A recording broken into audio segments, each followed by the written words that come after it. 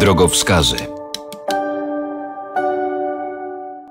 Czas najwyższy zaczynać drogowskazy. Michał Poklękowski, witam i zapraszam. Kto z nas choćby raz w życiu nie zastanawiał się, jak mógłby wyglądać koniec świata, koniec ludzkości? Co doprowadzi nas jako cywilizację do ściany, do końca? Zmiany klimatyczne, może głód, może kolejna pandemia, wojna światowa, która pozostawi po sobie tylko zgliszcza, nie wiem, uderzenie komety. No długo można by było wymieniać możliwe przyczyny końca świata, jaki znamy. Na ten temat od lat wypowiadają się naukowcy, pisarze, także aktywiści. Powstają artykuły, wiersze, książki oraz oraz filmy, także gry. W każdym razie temat końca świata wraca co jakiś czas jak bumerang. Wrócił w takiej czy innej formie także wraz z początkiem pandemii koronawirusa. Wielu na, naprawdę poważnie zastanawiało się, czy to już, czy to jest właśnie ten moment, a przynajmniej pierwszy etap tego końca świata, jaki znamy. I dziś o tym w programie. Do rozmowy na ten temat zaprosiłem doktora Macieja Jakubowiaka, eseistę, krytyka literackiego, literaturoznawcę, autora książki Ostatni ludzie, wymyślanie końca świata. Witaj, bardzo się cieszę, że udało nam się spotkać w studiu. Witaj, bardzo mi miło. Koniec świata, Macieju, w różnych rozważaniach wiąże się zazwyczaj z jakimś, wiesz, nagłym, takim gwałtownym, dramatycznym często i bolesnym zjawiskiem, tragiczną przyczyną. Jakie zatem najczęściej padają przyczyny tego właśnie końca wszystkiego, o jakich też piszesz w swojej książce i jakie można znaleźć w literaturze, w przekazach, w artykułach, w podaniach? To zależy kiedy. W swojej książce piszę o tym, o tym czego się boimy dzisiaj mm. i, o tym, i o tym pewnie za chwilę pogadamy. Natomiast, żeby opowiedzieć sobie o tym, jak dzisiaj boimy się końca świata, no trzeba, trzeba zerknąć też na to, jak bali się go nasi rodzice, nasi dziadkowie i jak bano się go tysiące lat temu. No i to były najróżniejsze, najróżniejsze historie. Spadające gwiazdy, o których wspomniałeś, no to jest taki stały motyw. On mm -hmm. się mhm. pojawia jeszcze w Biblii. Pewnie jest coś takiego, kiedy patrzy, patrzy się na nocne niebo i widzisz, że tam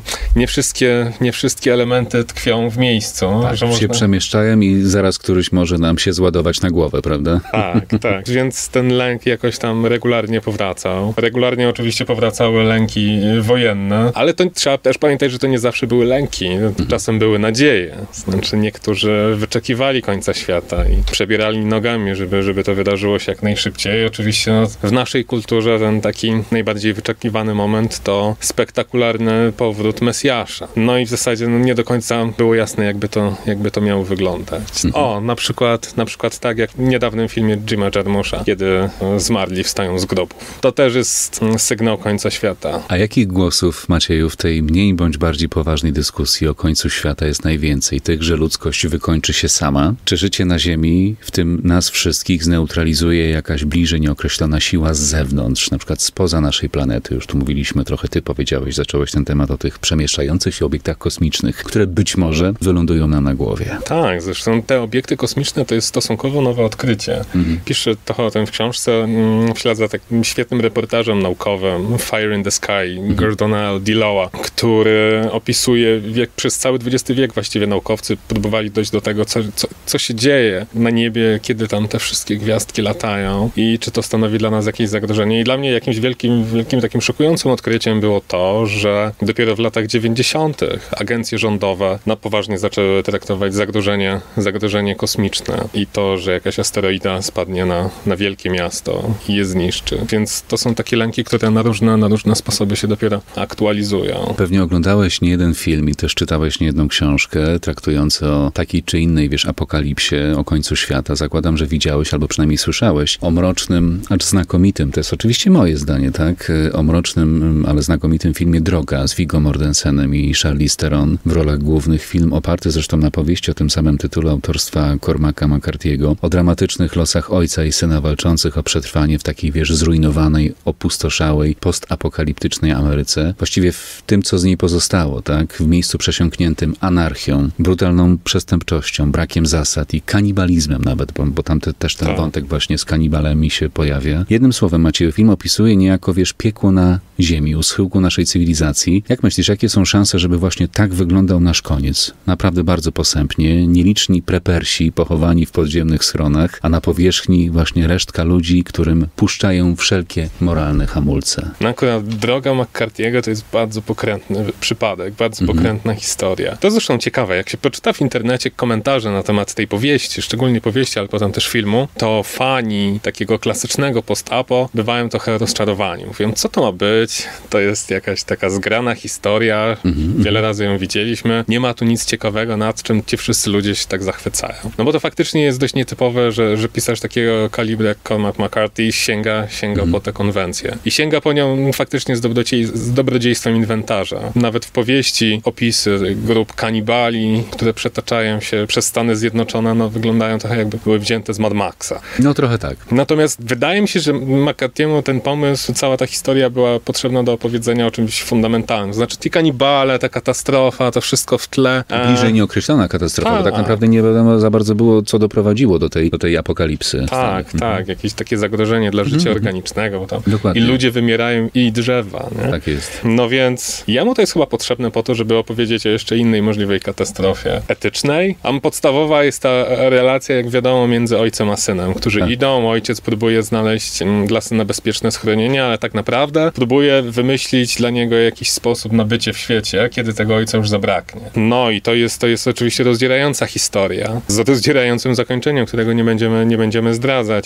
Mhm. Ale ona też opowiada o, o, o, czymś takim bardzo fundamentalnym, to znaczy, co właściwie musi się wydarzyć, żeby świat nam się skończył. Mhm. I napięcie pomiędzy synem a ojcem w tej historii właśnie tego dotyczy. Czy jeżeli zrobimy to, to świat się skończy, a jeżeli zrobimy coś innego, to czy świat się skończy? W którym momencie przekroczymy granicę, kiedy świat już nie będzie do uratowania? To jest y, fantastyczna opowieść, szczególnie w kontekście takich dzisiejszych, zataczających coraz szersze kręgi dyskusji o tym, mówiąc najprościej, czy mieć dzieci, czy nie mieć dzieci, nie? czy czeka je jakaś dobra przyszłość. Na przykład tak. Właśnie kiedy przygotowywałem się do dzisiejszego spotkania z tobą, Macieju, poczytałem sobie trochę o prepersach, których coraz więcej na świecie, o ludziach, którzy za wszelką cenę chcą, wiesz, przetrwać koniec świata w takiej czy innej formie, chcą ocalić siebie i najbliższych w dobrze wyposażonym w broń, wodę i żywność, w leki, tak? Podziemnym schronie, zazwyczaj podziemnym. I oni jak piszą na swoich forach, trochę poczytałem i nie uważam ich wcale wszystkich za jakichś skończonych oszołomów. Oni nie mają złudzeń, że po apokalipsie,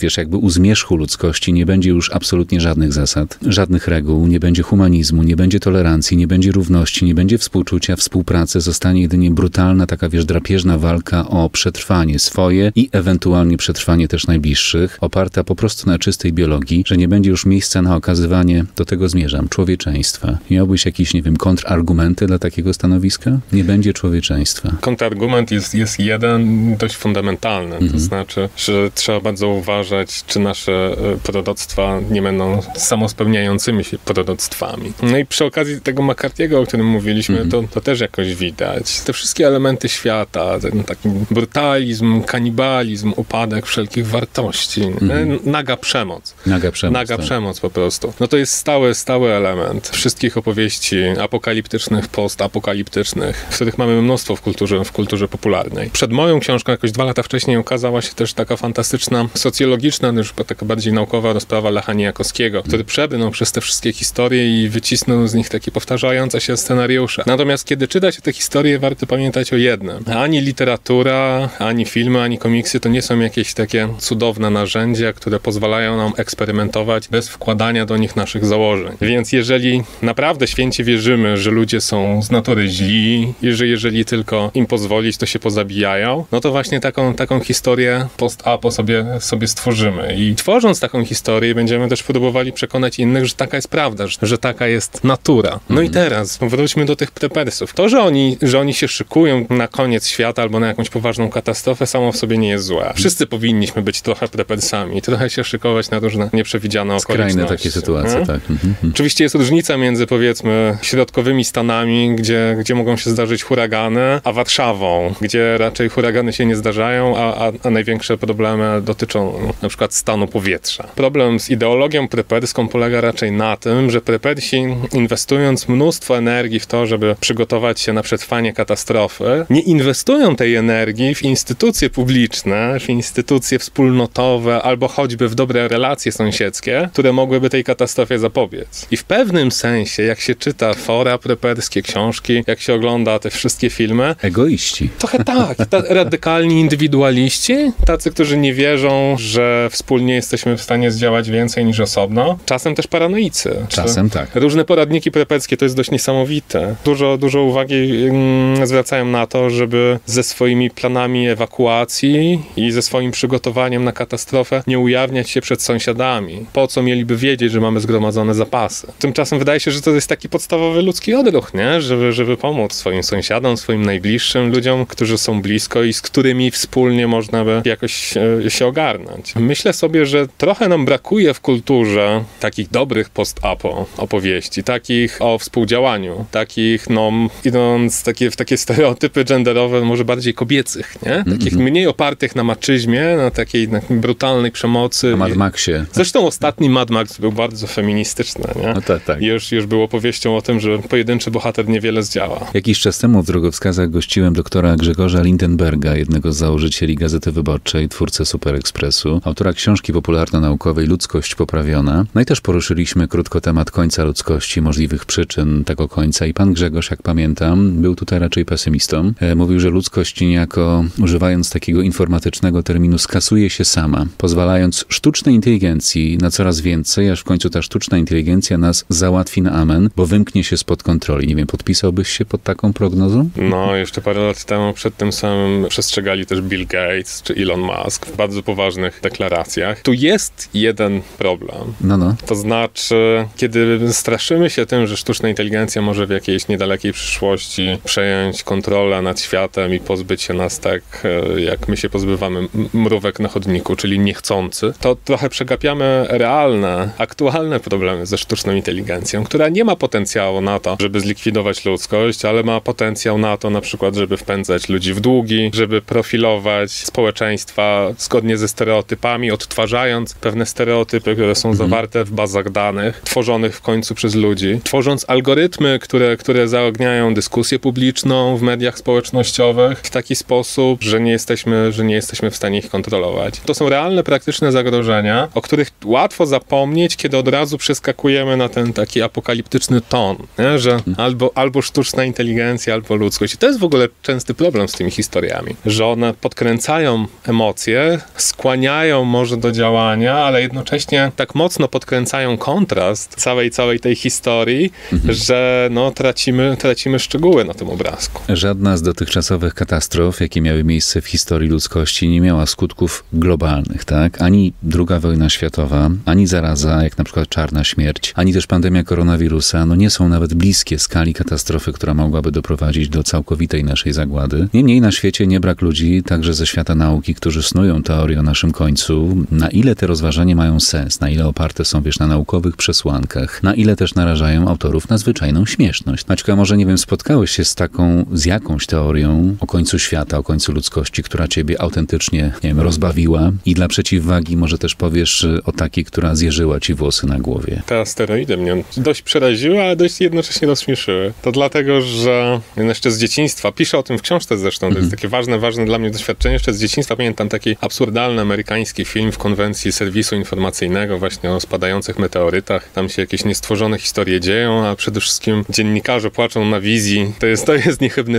na końca świata. No i potem jak już, jak już dorastałem, to myślałem sobie, że strasznie, strasznie głupia ta historia z tymi meteorytami. No a potem, tak jak już wspominałem, dowiedziałem się, że to jest regularna sprawa. Według jakiegoś raportu NASA średnio raz do roku powyżej ziemskiej atmosfery dochodzi do wybuchu o mocy bomby zrzuconej na Hiroshima, więc jednocześnie jest to mocno przerażające, bo to oznacza, że faktycznie coś ważnego nam zagraża, ale z drugiej strony jest strasznie głupie, jak sobie pomyśleć o tym, że to jest coś, co uważaliśmy za kompletnie nieprawdopodobne. No i teraz to skłania też do pomyślenia o innych zagrożeniach, z których trochę się nabijamy, wtedy traktujemy niepoważnie, a potem może się okazać, że jednak, że jednak coś tu jest, na rzeczy. Tak miałem też, prawdę mówiąc, pisząc tę książkę, to znaczy zaplanowałem sobie utrzymany w zabawnym tonie rozdziałik o superbakterii, która powstanie gdzieś na kurzej fermie w Chinach i wymknie się spod kontroli, zdziesiątkuje ludzkość, no bo takie fantazje przecież, przecież pojawiały się już w naszej kulturze wielokrotnie. Nie zdążyłem zacząć konkretnych prac nad tym rozdziałem, nie zdążyłem jeszcze zdania napisać, kiedy, kiedy na nastąpił marzec 2020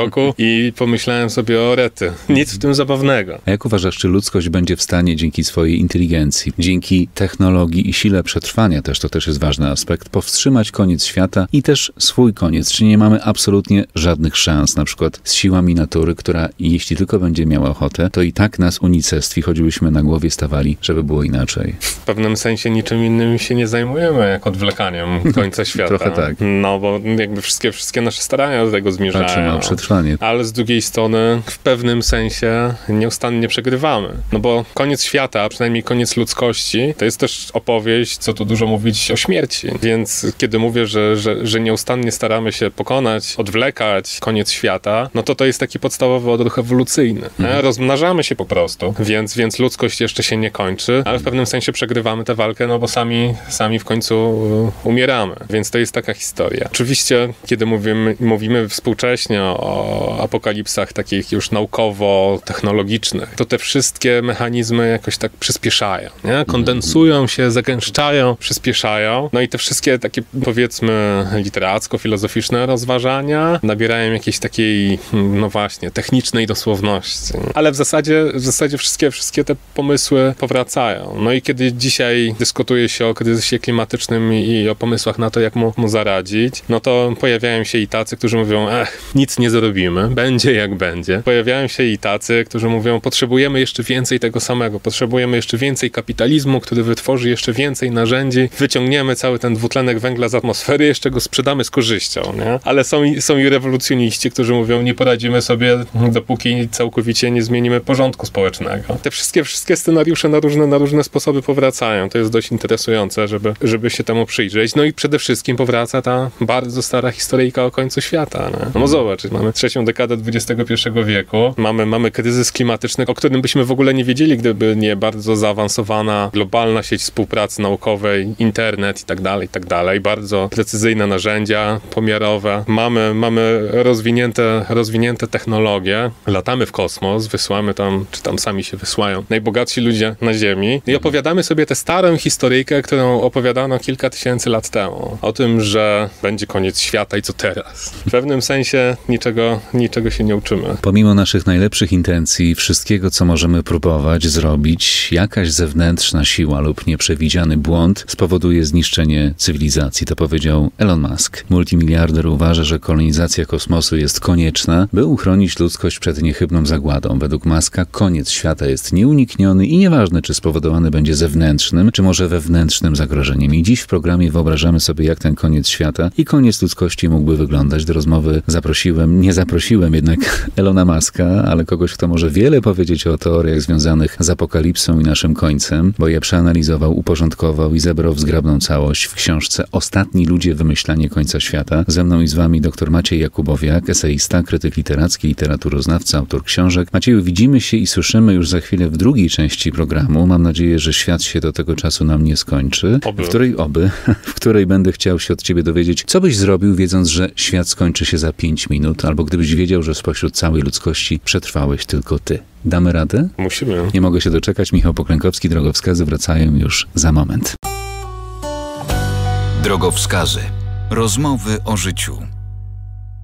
Wracają drogowskazy, czas na drugą część. Michał Poklękowski, zapraszam. Koniec świata i prognozowanie biblijnej apokalipsy kojarzyło się do tej pory jedynie z przepowiedniami i z jasnowidzami, którzy w swoich wizjach widzieli samo zło, przez co zwykle byli też traktowani pogardliwie albo, no, powiedzmy, z przymrużeniem oka. Teraz jednak okazuje się, że temat końca świata przebojem wszedł do świata nauki. Też eksperci coraz głośniej mówią, że bez poważnych i szybkich zmian w podejściu do ochrony środowiska i zasobów naturalnych Ziemię, w tym ludzkość, faktycznie spotka bardzo ponury koniec. I dziś w drogowskazach razem z moim gościem przyglądam się różnym teoriom na temat końca świata, końca ludzkości i ich możliwych przyczyn. W studiu ze mną dr Maciej Jakubowiak, eseista, krytyk literacki, literaturoznawca, autor książek, w tym tej, która niejako sprowokowała nasze dzisiejsze spotkanie, czyli Ostatni ludzie, wymyślanie końca świata. Witam się z Tobą po raz drugi, Macieju. Cześć. Rozmawiamy, widzimy się, słyszymy, to znaczy, że świat jeszcze istnieje. Pytanie, jak długo jeszcze pociągnie? Z nami czy bez nas? Na przykład naukowcy z Uniwersytetu Anglia Ruskin tak tak wyczytałem, prognozują, że wzrost populacji, regularne niszczenie środowiska i eksploatacja ograniczonych już zasobów naturalnych mogą spowodować, mogą doprowadzić do globalnego załamania się cywilizacji i w konsekwencji do upadku państw w znanym nam rozumieniu. Jakkolwiek to brutalnie nie zabrzmi, Macieju, Ziemia raz doskonale sobie bez nas poradzi, dwa sobie w końcu od nas odpocznie. Co wynika z przekazów na ten temat? Przekazów, materiałów, które, nie wiem, analizowałeś, pisząc swoją książkę. Świat i ludzkość skończą się gwałtownie, tak wiesz, pstryk i koniec. Czy będzie to proces raczej długofalowo, obliczony na lata, na dekady? A może już ten proces się zaczął? Pytam trochę prowokacyjnie.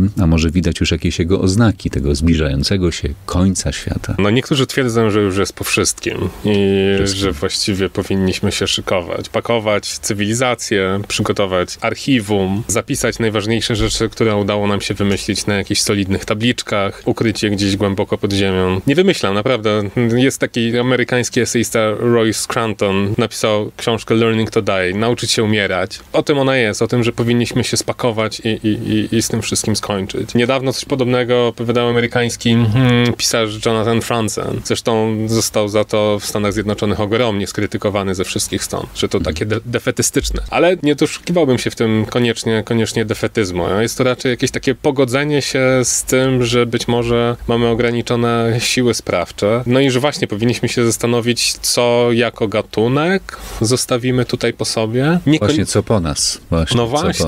No i niekoniecznie to tak jest, że świat tak świetnie sobie poradzi e, bez nas. My tutaj dość beztrosko sobie mm, rozmawiamy o końcu ludzkości, co w gruncie rzeczy oznaczałoby tylko koniec jednego z gatunków żyjących na Ziemi, podczas gdy naukowcy mm, mówią, że dziś jesteśmy świadkami szóstego wielkiego wymierania. Wymierania, dokładnie tak. Każdego dnia znikają z powierzchni Ziemi kolejne, kolejne gatunki zwierząt, roślin, owadów. No i co? No i świat, świat niby dalej istnieje, ale jakaś no, znaczna jego część przestała istnieć. Nawet tego nie zauważyliśmy. Różni ludzie piszący o klimacie wskazują też na to, że konsekwencje naszych, naszych działań to też jest dyskusyjna sprawa, czy ostatnich 200 lat, czy ostatnich 2000 lat. No w każdym razie tego całego zamieszania, które zrobiliśmy z nadmierną emisją dwutlenku węgla do atmosfery, że konsekwencje tego będzie się dało teoretycznie przynajmniej mierzyć przez kolejne 100 tysięcy lat. Odcisnęliśmy dość trwały ślad na tej planecie. No dlatego niektórzy, niektórzy chcą nawet tworzyć nową epokę geologiczną, antropocen, mm -hmm, żeby zaznaczyć, Dokładnie, że, tak. no, że narobiliśmy tutaj bałaganu. bałaganu.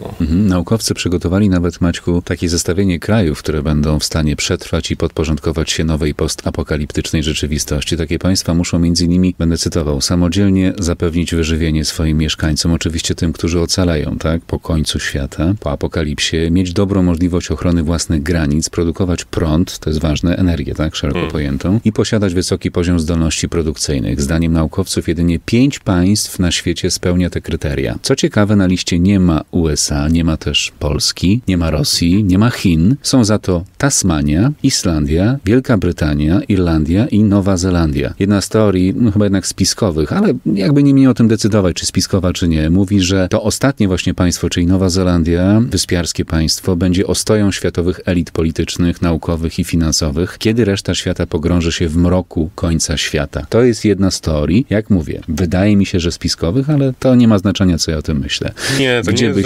spisek. Nie? Kilka lat temu ukazał się świetny materiał reporterski dziennikarki Bloomberga, która dotarła... No poważna sprawa, jak tak, Bloomberg wchodzi do akcji. Mhm. Tak, dotarła do dokumentów, e, nawet pojechała na miejsce i widziała tę konstrukcję. Mniej więcej w momencie, kiedy Donald Trump został prezydentem Stanów Zjednoczonych, kilku miliarderów e, z Doliny Krzemowej postanowiło wybudować sobie bunkry w Nowej Zelandii. Rząd mhm. Nowej Zelandii zaproponował wtedy zmiany, zmiany w ustawodawstwie, które pozwalały właściwie za ogromne pieniądze kupić sobie obywatelstwo mhm. Nowej Zelandii wobec tego obywatelstwa nie można tam robić dużych inwestycji nieruchomościowych. No i rzeczywiście stało się tak, że te, że te bunkry tam dość solidnie zamaskowano. Są na to dowody. Są ludzie, którzy budowali te bunkry. Ktoś musiał to wybudować. Firma z Teksasu się w tym specjalizowała. To już jest podobno. Tego dziennikarka nie widziała na własne oczy, ale można się tego domyślić. Wiesz, to już jest kompletnie prawdopodobne, że ci najbogatsi ludzie w Stanach, a pewnie i na świecie mają przygotowane, no właśnie, mówiliśmy o prepersach, więc prepersi szykują na katastrofę plecak ucieczkowy, no a miliarderzy no, szykują odrzutowce ucieczkowe. Zatankowane, przygotowane, załadowane, no i gotowe w każdej chwili zabrać ich właśnie do Nowej Zelandii, gdzie no, można się... Jest można nadzieja, że uda się tak. przetrwać bezpiecznie. Tak, tak. A gdzie byś chciał, żeby ciebie zastał koniec świata? Prowokuje cię w tym momencie. I co byś zrobił, a czego nie macie, wiedząc, że za pięć minut wszyscy zginiemy, na przykład w wyniku jakiejś bliżej nieokreślonej katastrofy kosmicznej, bardzo nagłej. Nie mogę, nie mogę tak po prostu odpowiedzieć, bo i ta książka nigdy nie jest po prostu, więc powiem ci, który, który scenariusz fikcyjny najbardziej do mnie przemawia. Ten z Melancholii, Laca von Triera. Kiedy okazuje się, że planeta Melancholia już na pewno leci w kierunku Ziemi, że to zaraz wszystko się skończy i te dwie siostry razem z dziećmi próbują się jakoś, jakoś w tej sytuacji ogarnąć. No i nic nie działa, bo nic nie może zadziałać, bo świat, świat musi się skończyć, więc najskuteczniejszym ratunkiem przed końcem świata okazuje się taki szałas zbudowany z trzech patyków, pod którymi siadają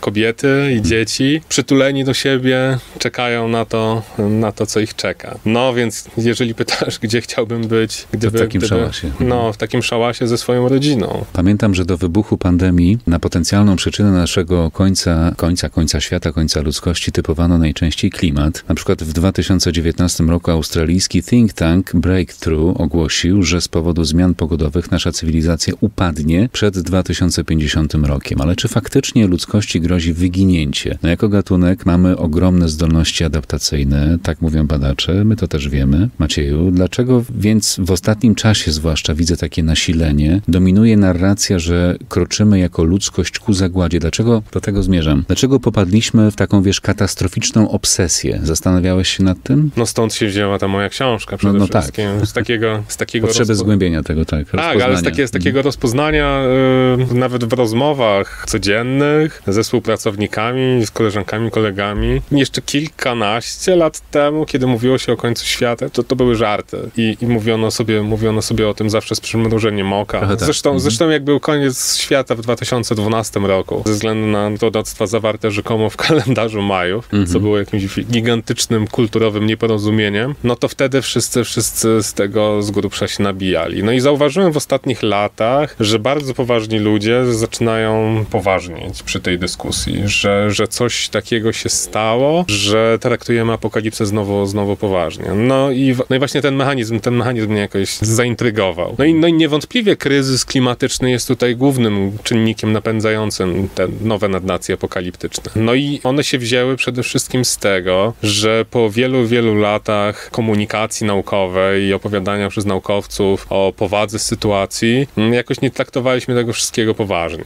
Więc w pewnym momencie i naukowcy, dla których to jest bardzo nietypowy sposób komunikowania się, i aktywiści, którzy może lepiej odnaleźli się w tej retoryce, powiedzieli dość tego, słuchajcie, musimy coś zrobić, albo będzie koniec świata. No i rzeczywiście, nie? Taką twarzą tego rodzaju retoryki, no niewątpliwie została Greta Thunberg, która słynęła z tego, że wykrzykiwała swoje oburzenie właśnie w takim tonie. How dare you? You have stolen my dreams and my childhood with your empty words. We are in the beginning of a mass extinction. How dare you? Zresztą mm, na konferencji klimatycznej w Davos przed kilku laty ONZ zaprosiło ją do poprowadzenia panelu dyskusyjnego pod tytułem Środowiskowa apokalipsa. Więc znowu ten język wszedł do takiego oficjalnego, instytucjonalnego, politycznego obiegu. No właśnie dlatego, żebyśmy coś zrobili, żebyśmy się zmobilizowali, żeby to ruszyło nasze emocje. No ale jednocześnie, i to jest, to jest ciekawa sprawa z tą historią, ona potrafi szybko wypalić, szybko e, przerazić, e, sprawić, że chcielibyśmy coś zrobić, bo jesteśmy przerażeni ogromem problemów, ale jednocześnie nie mamy siły w konfrontacji z tym ogromem problemu. To taki specyficzny, specyficzny clinch to uruchomił, ale nie tylko klimat, nie tylko klimat. Ci wspomniani Bill Gates i Elon Musk straszyli apokalipsą technologiczną. Apokalipsy wojenne powracają e, nieustannie w różnych, w różnych wersjach. Nadnacja o apokalipsie demograficznej była jednym z takich e, ważniejszych czynników nadnacji wykorzystywanych w kampanii brexitowej. Jeden z e, brytyjskich socjologów, emerytowany już i dość kontrowersyjny, wtedy w kółko powtarzał tezę o tym, że jeżeli nie nastąpi Brexit, to skończy się Wielka Brytania. Używał nawet tej formuły finis Britannie, bo to miało po prostu oznaczać to, o czym wspomniałeś, to znaczy niekontrolowany napływ imigrantów, który sprawi, że w Wielkiej Brytanii Brytyjczyków będzie mniej niż nie Brytyjczyków. I tutaj docieramy do sedna tej historii o końcu świata. Znaczy, jak sobie wyobrazimy świat, tak nam się on skończy. Skończy. Koniec świata miał nadejść, to jedna oczywiście tutaj z teorii, między innymi 23 września 2017 roku, tak mówiła jedna z przepowiedni, o tym, że to właśnie ta data miała być związana z końcem świata, przekonywał amerykański numerolog, który twierdził, że odkrył tajemny kod zapisany w Biblii. No i co? No i jajco, mówiąc hmm. nieelegancko. Takich niespełnionych przepowiedni w tym kontekście było i jeszcze zapewne będzie mnóstwo, ale skoro się masowo nie sprawdzają, to dlaczego w ogóle powstają? Tak się zastanawiam, kto z tego ma pożytek? Czy takie przepowiednie można traktować w ramach żartów? Nie wiem, autorzy zyskują chwilowy rozgłos i mają niezły ubaw. Według autora zresztą tej niespełnionej przepowiedni, do której, o końcu świata, do której odniosłem się przed chwilą, na niebie, będę cytował, miał pojawić się znak, który miał być nawiązaniem do wersetów Apokalipsy świętego Jana. Niewiasta pod postacią gwiazdozbioru Panny przechodzącego na tle słońca z sierpem księżyca, znajdującym się u stóp, zaświecić miała wtedy na ekliptyce, a antychryst miał na 42 miesiące przejąć kontrolę nad światem. No właśnie, jakbyś w kilku zdaniach, Macieju, podsumował koniec świata i ludzkości w kontekście religii, na ile jest to istotny temat rozważań w poszczególnych wyznaniach, bo chociaż w jednym wybranym. Fundamentalne. W no. każdej właściwie mitologii, w każdej religii opowieść o początku świata jest właściwie od razu opowieścią o końcu. Nie trzeba, nie trzeba sięgać daleko, wystarczy sięgnąć do naszej judeo-chrześcijańskiej mitologii. W Księdze Rodzaju nie? świat powstaje i wszystko powinno wyglądać już fantastycznie, bo to dopiero początek tej opowieści. I co się dzieje na początku? Jest koniec.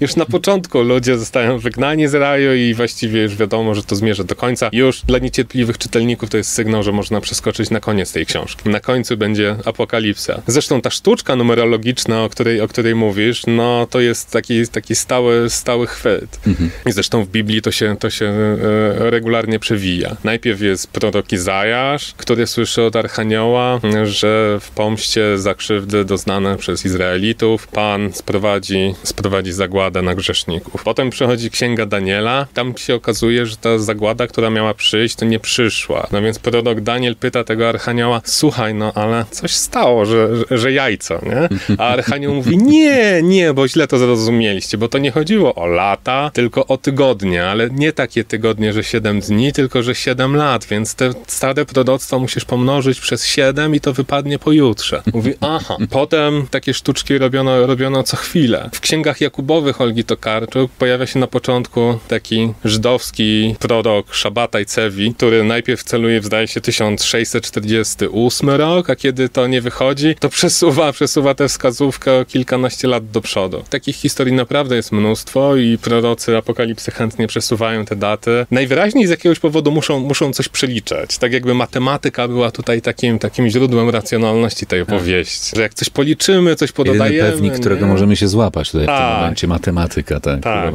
Natomiast czasem, czasem te historie, no, to brzmi wszystko zabawnie i czasem, czasem rzeczywiście jest absurdalne i te różne dzienne daty brzmią no, oszołomsko, ale czasem zdarzają się i tacy, którzy robią wiele, żeby ich proroctwa się spełniły. A propos absurdalnych historii, chociaż może nie do końca absurdalnych, a czy wyobrażałeś sobie, że na przykład budzisz się pewnego poranka i już po kilku minutach, wiesz, orientujesz się, że coś jest nie tak. Mm, wychodząc z domu już masz pewność, że stało się coś niewytłumaczalnego i zostałeś sam, a reszta ludzi zniknęła. Została po nich cała infrastruktura, wszystko, tylko ich już nie ma. Jesteś ostatnim przedstawicielem Homo sapiens na Ziemi. Trochę wiesz jak w filmie Ostatni człowiek na Ziemi, czyli postapokaliptycznym horrorze science fiction z 1964 roku, opartym zresztą na powieści Jestem legendą z 1954 roku. Co byś zrobił? Jakie decyzje Macieju byś podjął, znajdując się nagle w tak niedorzecznej rzeczywistości, którą trudno sobie wyobrazić? No w dużej, w dużej mierze w ogóle o tym jest ta książka i pewnie napisałem ją po to, żeby się zastanowić nad tym, jakie miałbym możliwości w takiej sytuacji. Na przykład. Zresztą, zresztą tytuł Ostatni ludzie pożyczyłem e, od autorki Frankensteina, Mary Shelley, z jej takiej mniej znanej powieści zatytułowanej właśnie Ostatni Człowiek. Tam to dochodzenie do momentu, kiedy jakiś człowiek okazuje się ostatni, trwa bardzo, bardzo długo, ale w końcu jest ten ostatni człowiek, który ma za sobą jakąś zupełnie wariacką historię życia. No ja mówiłem, że nie, że nie będę nikt odpowiadał bezpośrednio. Taka jest ta książka i tak Aha. chyba mi głowa działa. No więc tamten człowiek najpierw, najpierw chce się zabić, to, to jasne. Stwierdzę, że no jak już jest ostatni i nic mu już nie zostało, to po co żyć? Potem się denerwuje. Denerwuje się, co ciekawe, na zwierzęta, bo zwierzęta prowadzą swoje życie tak jak dotąd. Mhm. Krowy opiekują się cielakami, psy biegają po trawie, więc on się irytuje, że co to gatunek homo sapiens dobiegł praktycznie do końca, a zwierzęta nic sobie z tego nie robią. Powinny popełnić zbiorowe samobójstwo. Współczuć powinny, tak. tak. No ale orientuje się, że to też byłoby bez sensu więc nawet przygarnia psa, albo inaczej, pozwala się przygarnąć psu, który odtąd mu towarzyszy. No więc potem robi najlogiczniejszą rzecz, to znaczy rusza w podróż. No bo to jest właśnie najfajniejszy element tej całej historii o ostatnim człowieku, która powraca na różne sposoby. Zresztą na przykład jedna z ostatnich powieści Jerzego Pilcha, Żywego Ducha, też była o tym, że mm. pewien mężczyzna budzi się w Warszawie pewnego dnia i nikogo nie ma. No więc właściwie, kiedy jest się ostatnim człowiekiem, to nie wie się, czy się jest ostatnim człowiekiem, no bo skąd? No bo skąd, tak. Nie ma się dostępu do innych ludzi, więc nie ma się dostępu do informacji z całego świata, więc no i właśnie, zostajemy wtedy skonfrontowani z, taką, z takim podstawowym wyborem. I ten wybór jest ważny nie tylko w tak ekstremalnej sytuacji, wydaje mi się, że on jest ważny i tutaj to sprowadzę to do jakichś trochę ciutkę poważniejszych tonów, że, że to jest taki wybór, przed którym stajemy każdego dnia. To znaczy, czy chcemy żyć w swojej głowie i zakładać, że wszyscy ludzie są naszymi wrogami, że właściwie nie istnieją, że nie mają znaczenia, czy chcemy dokonać jakiegoś wysiłku, żeby tych ludzi poszukać. Wydaje mi się, że to jest też taki sposób na opowiedzenie o tym bardzo podstawowym e, wyborze. Czy chcemy się zamknąć w swojej skorupie, bo boimy się świata i ludzi, czy chcemy wykonać, podjąć ten wysiłek, żeby, żeby jednak z kimś się dogadać. W historii ludzkości końców świata miało być już co najmniej kilkanaście, jeśli nie więcej. Mówimy tu o prognozach, które przebiły się do świadomości społecznej oczywiście. Wizja apokalipsy i unicestwienia świata fascynuje ludzi od zawsze. W końcu o wielkiej zagładzie mówi praktycznie każda religia. Są tacy, którzy już od lat z ogromnym strachem patrzą w przyszłość i wypatrują znaków końca świata, zapisanych w księgach, zapisanych w proroctwach. Teorie na ten temat w jednej książce pod tytułem Ostatni ludzie, wymyślanie końca świata, luźno zebrał mu dzisiejszy gość, dr Maciej Jakubowiak, eseista, krytyk literacki, literaturoznawca, autor książek. Macieju, to jeszcze nie koniec naszej rozmowy. Zaskoczenie widzę na twojej twarzy. Zapraszam ciebie jeszcze do udziału w szybkiej trzeciej, ostatniej części, w której chciałbym spytać między innymi o to, czy ludzie w swojej masie powinni wiedzieć, że świat na pewno skończy się za kilka dni czy miesięcy, bo w Ziemię uderzy mega asteroida i nie ma przed tym żadnej ucieczki. Co taka wiedza mogłaby zrobić, wiesz, z ludzką naturą, z reakcjami, z zachowaniem? Pokusisz się? Spróbujemy? Z największą chęcią. Okej, okay, świetnie. Michał Poklękowski, trzecia część drogowskazów za moment. Zapraszam razem z moim gościem. Drogowskazy. Rozmowy o życiu.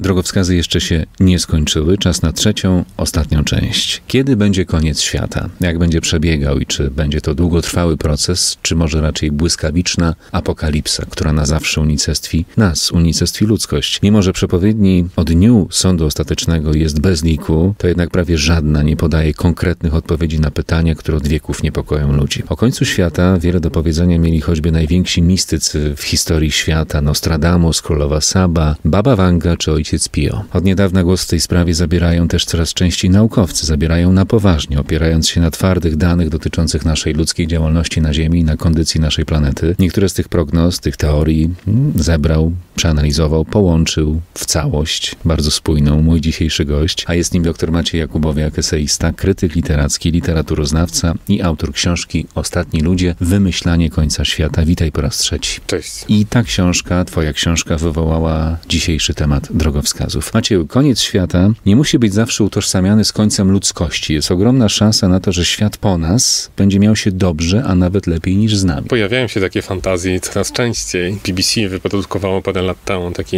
taki mm, serial, który robi fast forward i pokazuje, jak będzie wyglądała Ziemia bez Dzień człowieka. po zniknięciu ludzkości, tydzień, miesiąc, tak. rok, sto lat i tak dalej. No ja wiem, tak, jak fascynujące. Będą, no, jak będą ewoluowały gatunki roślin, zwierząt. Się będą zmieniała, jak się będzie zmieniała infrastruktura którą pozostawimy i tak dalej. Tak, mhm. tak. No to są piękne fantazje.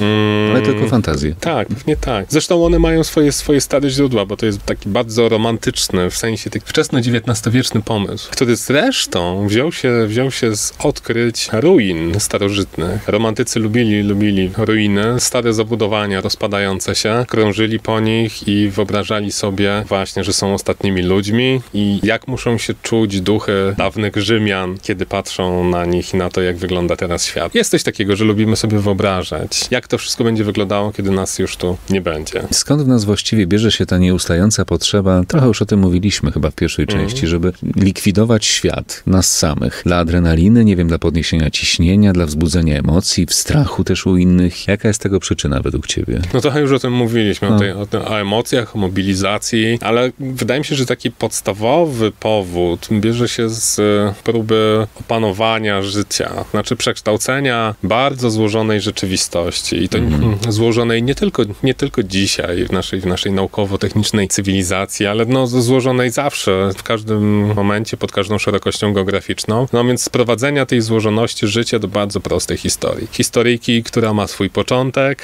krótki, w sumie nic nieznaczący przebieg i koniec, a na tym końcu ujawnią się wszystkie sensy, wszystkie znaczenia i co więcej, dobrzy zostaną nagrodzeni, a źli ukarani. To jest bardzo atrakcyjna historia, która pozwala uporządkować mnóstwo spraw. Od, od indywidualnej biografii, nawet zejdźmy niżej, od, od pojedynczej audycji radiowej, przez indywidualne biografie, podzieje ludzkości, a nawet podzieje wszechświata. Okay. Więc, więc jest, jest w tym coś kuszącego. W opisie twojej książki, Macieju, mm, o której dziś rozmawiamy, czyli Ostatni ludzie, wymyślanie końca świata, czytam, że przedzierasz się przez gąszcz powieści, filmów, seriali, gier komputerowych, memów, doniesień medialnych i scen z życia codziennego, po drodze mijając scenariusze katastrofy klimatycznej, fobie technologiczne, lęki demograficzne i obrazy wojny, a wszystko po to, by zbadać naturę tej przedziwnej potrzeby kończenia ze wszystkim. Czy pragnienie autodestrukcji to nasze drugie imię? No właśnie, nie? Paradoksalnie to brzmi, ale jest trochę tak, że strasznie dużo energii poświęcamy tym mm. wyobrażeniom i strasznie, strasznie się tym przejmujemy. Czasem się tego boimy, a czasem, czasem tego chcemy. Morał widzę w tej książce taki, że to, czego nasi przodkowie bali się jako końca świata, było w rzeczywistości tylko końcem jakiejś epoki, której być może nawet nie miało sensu specjalnie żałować. Tak napisał o twojej książce Ostatni ludzie wymyślanie końca świata ceniony publicysta i pisarz Wojciech Orliński z wyborczej.pl. No skoro tak, to świat e, skończył się w naszej historii, historii człowieka już wiele razy, tak? Idąc tym tropem. Wraz z końcem średniowiecza, oświecenia, renesansu, kończy się stary świat i zaczyna nowy wraz z kolejną epoką, w którą wkracza człowiek. Pytanie tylko, czy jest ograniczona liczba tych epok, jednak kiedyś nie dojdzie do, wiesz, samozaorania. Świat w końcu się skończy. Nie uciekniemy przed tym. Tak, tak. No, zresztą... Nawet jeśli to ma nastąpić w sposób zupełnie naturalny za parę miliardów lat. Tak, dokładnie. Zresztą istnieją bardzo, bardzo precyzyjne obliczenia teoretyków astronomii, którzy mówią o tym, za ile, za ile dokładnie miliardów, miliardów, miliardów lat wszechświat zacznie się kurczyć. Trochę nie wiadomo, co po tym. No więc, więc tak, no rzeczywiście to jest historia, która na pewno się wydarzy i na pewno, na pewno się skończymy. Ale trochę, trochę już o tym dzisiaj rozmawialiśmy. No i wydaje mi się, że, że, że intuicja Wojtka Orlińskiego chyba też na to wskazuje. To mhm. znaczy, że rzeczywiście opowiadamy sobie o końcach świata, bo opowiadamy sobie o świecie, jaki sobie wyobrażamy, ale że, że te światy jakoś nieustannie się kończą, tylko że my o tym nie wiemy. To jest jeden z takich najbardziej przerażających elementów tej historii, że jesteśmy trochę jak gotująca się żaba, która przystosowuje temperaturę swojego ciała do otaczającego otoczenia, więc właściwie nie wie, że coś się dzieje, aż do momentu, kiedy jest za późno. Tylko z drugiej strony dla nas, dla nas jako gatunku, czy no może i szerzej, dla nas jako czujących form życia na Ziemi, bo i tak można sobie wyobrazić nas, to jest też niezły mechanizm adaptacyjny. Nie? To znaczy, jeżeli faktycznie świat już kończył się tyle razy, a my wciąż tu w jakimś sensie jesteśmy, no to to jest dobra informacja. Być może trzeba by pomyśleć tylko o tym, jacy my przetrwamy ten koniec świata. A propos, spadające meteoryty, atak zmutowanych zombie, mordercze wirusy, skute lodem albo wypalone słońcem opustoszałe metropolie. Filmowcy przyzwyczaili nas do spektakularnych wizji końca świata z deszczem efektów specjalnych i zbawicielem, nie wiem, na miarę Chucka Norrisa na przykład. Ale pomijając efekty specjalne, wiesz, te wszystkie fajerwerki, to takie filmy mogą jednak widza, a przynajmniej większość z nich skłonić do refleksji. Mówię zupełnie poważnie, że to wszystko jest takie kruche dookoła nas, też nasze życie, nasz świat. Może dzięki właśnie takim filmom, takim książkom jak też twoja, paradoksalnie możemy być lepsi, troszcząc się może trochę idealizuje, tak, ale czemu nie? Troszcząc się bardziej o siebie i o otoczenie, o planetę, bo koniec wszystkiego może przyjść z nienacka, Ziemia. Póki co jest tylko jedna. No. Kolwiek górnolotnie by to nie zabrzmiało. tak, dlatego, dlatego kiedy Elon Musk nawołuje do ewakuowania się na Marsa, mhm. trzeba, trzeba powiedzieć stanowcze puknij się w głowę człowieku. Ziemia jest tylko jedna i nie mamy planety B, jak powtarza wielu aktywistów klimatycznych, ale muszę się nie zgodzić, muszę się trochę nie zgodzić. To znaczy napisałem całą książkę o końcach świata, bo to są fascynujące opowieści, one bardzo wiele mówią o tym, jak myślimy, ale to jest też niezła pułapka, jaką zostawiamy sami na siebie. I jeżeli naszym najlepszym pomysłem pomysłem na to, jak uratować świat jest zatrudnienie Chucka Norrisa, albo Bruce'a Willisa, albo Jeffa Bezosa, no to jesteśmy w niezłych tarapatach. Opowieść o końcu świata, ona może i działa mobilizująco, ale też już o tym wspominaliśmy, ona mocno upraszcza sprawy. No i uprzywilejowuje pewien taki podstawowy model działania, taki właśnie westernowy, przygodowy, w którym potrzebujemy kogoś silnego, kto rozprawi się ze złem i, i za nas wszystkich załatwi tę sprawę. To brzmi zabawnie, nie? Kiedy, no nie wiem, na przykład w filmie Armageddon z lat 90, z końca lat 90. Tak. Bruce Willis leci w kosmos, żeby uratować Ziemię. Ale kiedy dzisiaj na przykład politycy bardzo serio rozmawiają o tym, że może powinniśmy dać sobie spokój z demokracją, bo tylko chiński model autorytarny jest w stanie szybko doprowadzić do rewolucji energetycznej, to to jest ta sama opowieść, tylko znacznie poważniejsza. No i teraz, może moglibyśmy sobie opowiadać o tych sprawach zupełnie inaczej, nie? Nie apokaliptycznie, nie martwiąc się o koniec świata, o historię, która ma początek i koniec, tylko myśląc bardziej relacyjnie, bardziej o współpracy, bardziej o stworzeniu bardzo szerokiej, szerokiej sieci współzależności, też z innymi gatunkami żyjącymi na Ziemi. O pomyśleniu o tym, że to jest nie tylko nasza planeta. No i to jest oczywiście taka rewolucja wyobraźni, która prędko się nie wydarzy. Prędzej się zagotujemy jak ta żaba, niż zaczniemy myśleć inaczej, ale z drugiej strony, jeżeli światy się do tej pory kończyły, to polegało to też właśnie na tym, że zmienialiśmy radykalnie nasze sposoby myślenia. Więc może, może będzie tak, że za jakiś czas, że w pokoleniu naszych dzieci